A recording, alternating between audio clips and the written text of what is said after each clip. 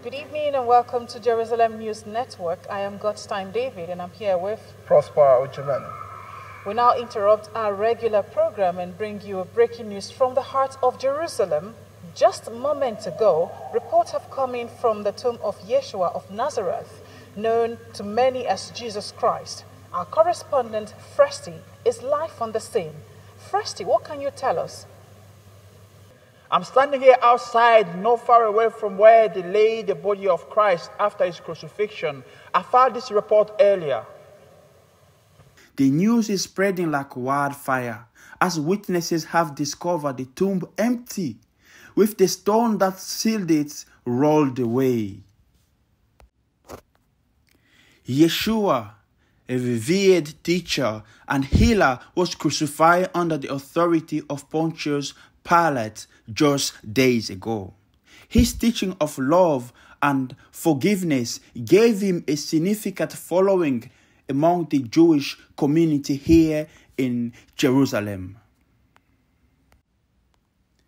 However, his radical teaching also led to clashes with religious authority who viewed him as a threat to their established order. Now, with the news of his empty tomb, speculation runs rampant. Various accusations have occurred regarding the disappearance of Yeshua's body. Some claim that the woman who discovered the empty tomb simply went to the wrong location. Others suggest that Joseph of Arimathea, the man who provided his tomb, may have stolen the body to prevent further disturbance. Oh, thank you, Preston.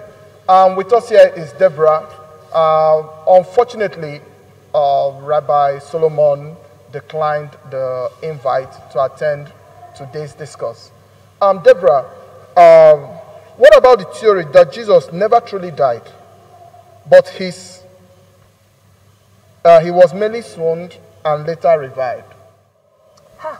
Thank you for that question.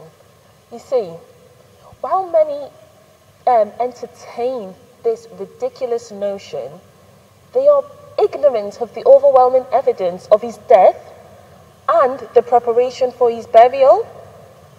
I mean, let's say he did survive. He would have been in such a weak state to make it practically impossible for him to then come back later victorious conquering the grave and the death. And what about the claim that the disciples stole his body?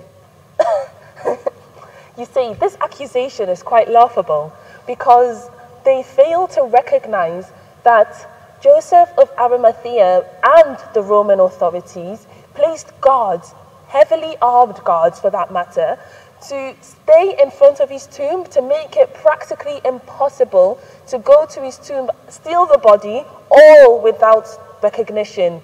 So, where this accusation comes from is beyond me.